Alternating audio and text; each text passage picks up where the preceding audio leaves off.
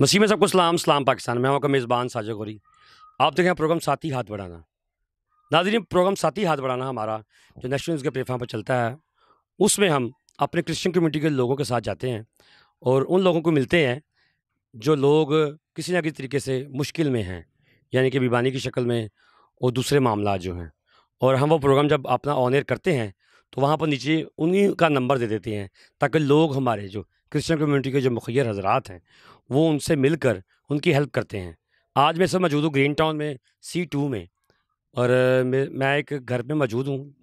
एक बड़ा खूबसूरत नौजवान जो कि तकरीबन आठ माह से बेड के ऊपर है और बड़ी जो मेरी तो मशक्क़त से अपनी जॉब भी कर रहा था और जॉब वो क्या कर रहा था कि रंग का काम जो घरों के अंदर होता है, वो बड़ी मेहनत का काम था और उसको एक जो है कमर में दर्द शुरू हुई जिसकी वजह से उसने इग्नोर किया और वो मुसलसल काम करता रहा। और जब आहिस्ता आहिस्ता उस दर्द को देखा गया टेस्ट करवाएगी तो वो जो है टीबी की, जो हड्डियों की टीबी है, उसकी बीमारी निकल आई। और उस वक्त काफ़ी देर हो चुकी थी और वो लड़का बेड के ऊपर पड़ गया। अभी वो बेड के ऊपर ही है, लेकिन गाय बगैर व्हील चेयर के ऊपर बैठ कर बाहर अंदर बाहर कमरे में आ जा सकता है। लेकिन उसके जो कंडीशन है घर की माँ बाप तो साथ हैं, लेकिन शादीशुदा है, दो बच्चे हैं और असद नाम है उसका, तकरीबन तेईस चौबीस साल की उम्र है और मैं आपको दिखाऊँगा भी और उससे पूछूँगा भी कि बड़ा खूबसूरत लड़का है और मसीह कम्युनिटी का एक नौजवान बच्चा है।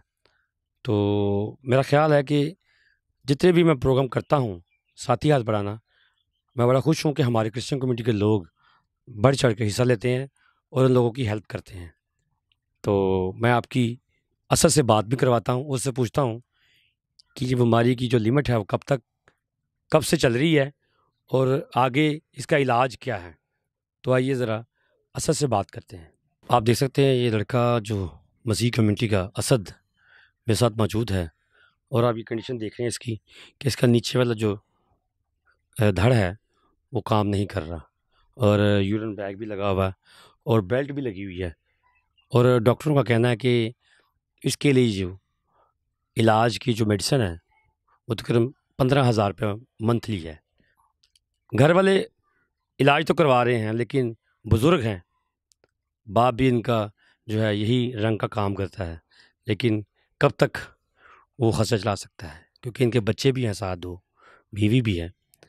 लेकिन माँ बाप का फ़र्ज़ है कि वो इसका इलाज करवा रहे हैं, लेकिन ये बंदा जो है ये चाहता है कि मेरी हेल्प की जाए ताकि मैं जल्दी से रिकवर हो चुकूँ और अपने जो है सिस्टम को खुद से चला सकूँ।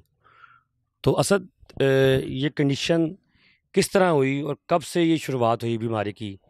एक साल से। एक साल से? जी। तो आपको पता नहीं चला कि आपको हड्डियों की टीबी है?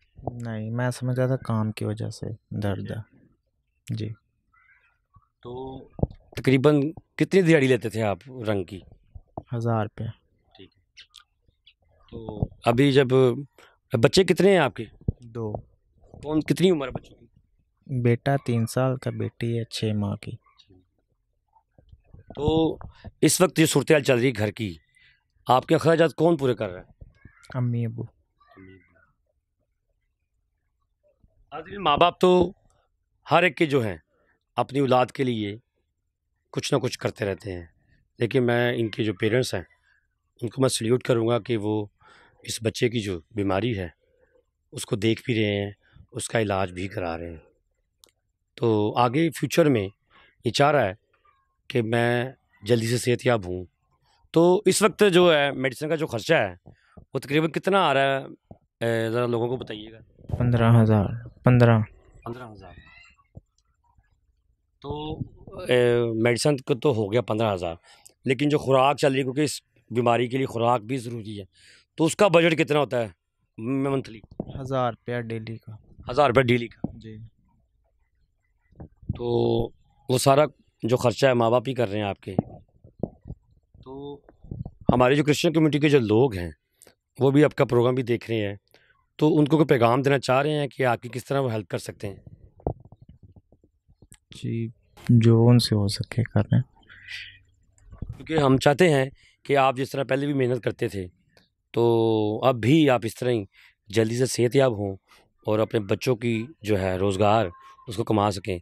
माँ बाप तो आपके कर रहे हैं, ये उनका बड़ापन है, क्योंकि नेशनल न्यूज़ ऐसे माँ बाप को सल्यूट करता है कि जो अपनी औलाद के लिए अभी तक इनके माँ बाप जो हैं, इनके साथ हैं और इनकी बीमारी को देख रहे हैं। तो मैं अपने जितने भी हमारे मुखैर हजरात हैं, जो हमारा प्रोग्राम देखते हैं, साथी हाथ बढ़ाना, वो ज़रूर इस बच्चे की हेल्प करें। नीचे नंबर इसका लिखा हुआ है। आप ग्रीन टाउन सी टू में आएँ और इससे आके मिल भी सकते हैं, क्योंकि ये अपने घर में तीसरे फ्लोर पर रहता है तो साथ ही ये कमरा है छोटा सा, और यहीं पे वो रह रहा है, और बच्चे भी साथ हैं, बीवी भी साथ है, और दो बच्चे हैं तो मेरा ख्याल इसको पैम्पर भी लग रहा है, क्योंकि ये बच्चा जो, बंदा जो है, असर जिसका नाम है, ये अपना जो है वाशरूम भी नहीं कर सकता। इस तरह बेड के ऊपर बैठ के। और मैं अभी जब आया था तो मैंने ये देखा कि कमज़ोरी की वजह से इसकी जो टांगें हैं, वो कांपना शुरू हो जाती हैं। कभी लेफ़्ट, कभी राइट, कभी लेफ़्ट, कभी राइट। और ये बड़ा तकलीफ़ दे मरहला है।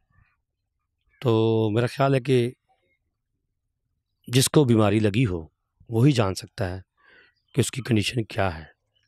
हम लोग तो आए हैं रिपोर्ट बनाएँगे, चले जाएँगे, लेकिन जो ज़िंदगी ये बंदा चला रहा है, जिसको देख रहा है, वो इसका हौसला है। और उसी के साथ इसके बीवी, बच्चे और साथ माँ बाप जिसको देख रहे हैं। मैं फिर आपको रिक्वेस्ट करूँगा कि आएँ, मिलकर इस बच्चे का इलाज करवाएँ, उसका जल्दी से सेहत याब करें। मुझे और कैमरामैन तारा पे जाकर इजाज़त दीजिए खुदाफिज